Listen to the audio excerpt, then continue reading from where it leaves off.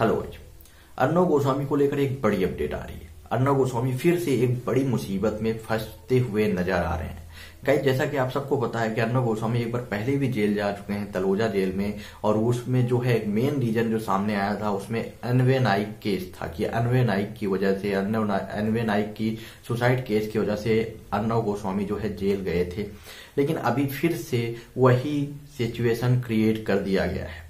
Guys अभी अभी जो एक बड़ी अपडेट आ रही है, कांग्रेस के कुछ लीडर कांग्रेस के मुंबई के कुछ लीडर ने दो दो एफ़ आई आर दो दो थानों में जो है अर्णव गोस्वामी के खिलाफ में किया है और उसमें सीधे सीधे बोला गया है सेक्शन ज़ीरो फाइव और नेशनल सिक्योरिटी एक्ट के तहत ये जो है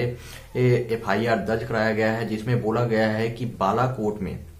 जो बालाकोट में अटैक हुआ था, उसका जो सीक्रेट मिशन था, उसको लीक करने के जुर्म में अर्णव गोस्वामी को जल्द से जल्द अरेस्ट करना चाहिए। और ये जो केस दर्ज कराया गया है, ये मुंबई में दर्ज करवाया गया है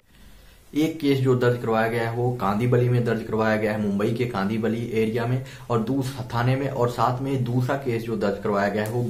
बांद्रा एरिया में दर्ज करवाया गया है। तो अर्णव गोस्वामी के खिलाफ कांग्रेस लीडर ने दो दो केस दर्ज करवाया गया है, सेक्शन फाइव और नेशनल सिक्योरिटी एक्ट के तहत जो है, ये एफआईआर दर्ज करवाई गई है और सीधे सीधे बोला गया है कि अर्णव गोस्वामी को जल्द से जल्द अरेस्ट किया जाए, क्योंकि उन्होंने जो है एक नेशनल सिक्योरिटी का जो एक सामना आ, काम था उसको जो है लीक किया था। एक नेशनल सिक्योरिटी की जो इन्फॉर्मेशन थी उसको लीक किया था। इस पर जो है सीधे सीधे आरोप लगाया गया है अर्णव गोस्वामी को और साथ में ही उन लीडरों के द्वारा ये भी बोला गया है कि हर एक स्टेट के हर एक डिस्ट्रिक्ट में अर्णव गोस्वामी के खिलाफ जो है एक एक एफआईआर दर्ज करवानी चाहिए क्योंकि अर्णव गोस्वामी ने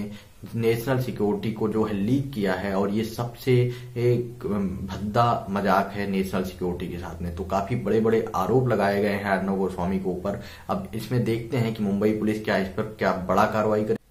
अब गाइज़ आपका क्या ओपिनियन है इसमें? आप अपना ओपिनियन कमेंट बॉक्स में बताएँ अर्णव गोस्वामी को लेकर। आप अपना ओपिनियन कमेंट बॉक्स में बताएँ वीडियो को ज़्यादा से ज़्यादा शेयर करें और चैनल को सब्सक्राइब करें गाइज़